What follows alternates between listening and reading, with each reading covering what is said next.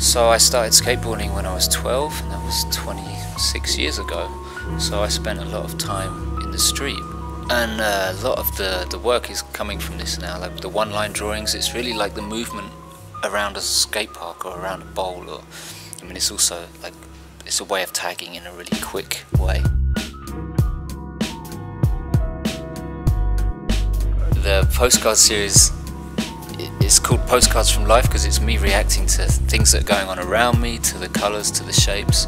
It's really trying to just show everything. Life is so full of different emotions and different things and playing with your kids and being a failure and being a success and you know, riding your skateboard and I don't know, finding treasure in a box in the street or treading in a turd in the street, you know, so many things and it's just a way to try and capture everything, the whole of life in very quick, simple ways.